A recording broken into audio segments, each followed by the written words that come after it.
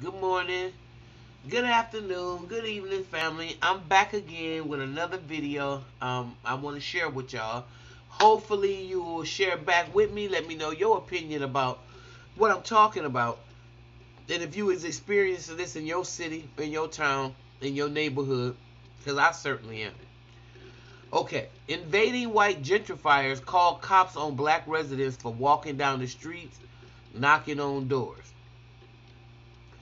In an ironic display of white supremacy, black residents in the historically African American East Oakland area are now being treated as menaces invading by invading white gentrifiers who are calling the cops on them for simply living life as they always have. A recent report by the East Bay Express reveals that the rate at which whites are calling police on innocent blacks is skyrocketing at an alarming rate. Using data from the net, the website Nextdoor, the publication was able to uncover cops being called for such harmless infractions such as walking down the street, knocking on a door. Black salesmen and postal workers were who were simply doing their job have even faced harassment and being criminalized for just delivering items to residents. As if existing Oakland police officers do not have a history of criminalizing and brutalizing black residents enough, White residents have also taken to hiring private police patrols to uh, to patrol the neighborhood with even more tyranny. Oakland officers report that they are currently receiving more than 700 calls a month about suspicious vehicles, uh, suspicious people, revealing that they are forced to respond to baseless, unwarranted calls from white residents who are racially profiling their neighbors. As gentrification reverses white flight on the on the country, black people are being subjected to racial profiling and white supremacy at the hands of invading white gentrifiers whose racial biases will continue unabated until there is some type of legal repercussions for their harassment. Black residents are being forced to relocate by rising property taxes and shattered tranquility of homes that are no longer the vibrant culture centers that they once were and city officials are doing little to address this problem.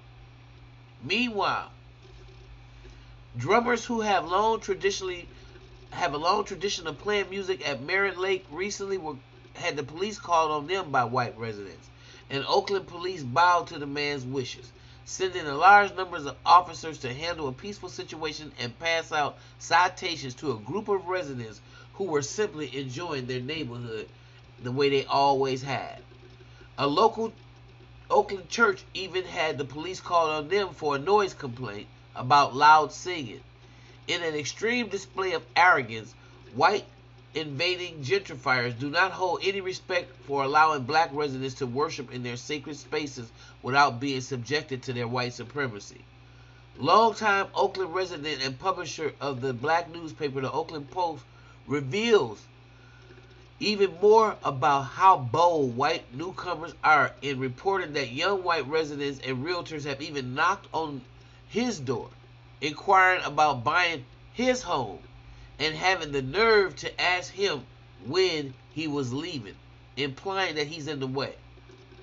High school freshman James Fisher recently spoke with the East Bay Express about the suspicious and fearful stares he gets from white people making him feel out of place and uncomfortable in the only place he has ever called home.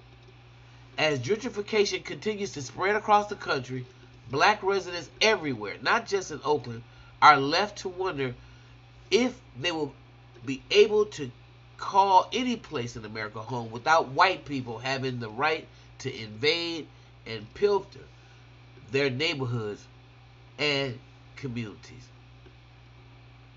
Now, this article uh, uh, came out of the uh, Your Black World, and it was by April V. Taylor.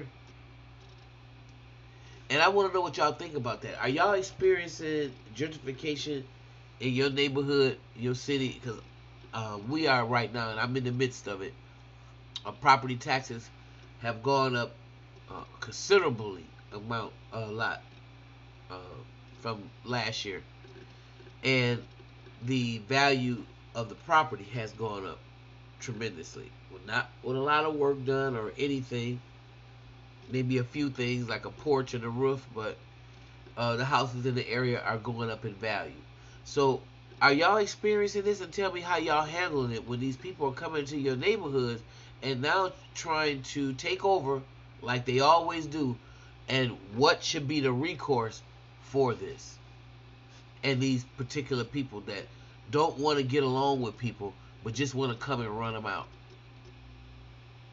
Should it be a plan for them as well? Like there's a plan for us? You think about it and let me know in your comment below.